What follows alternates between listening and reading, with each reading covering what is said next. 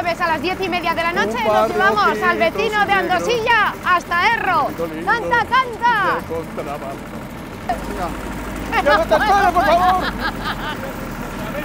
¡Que no puedo parar!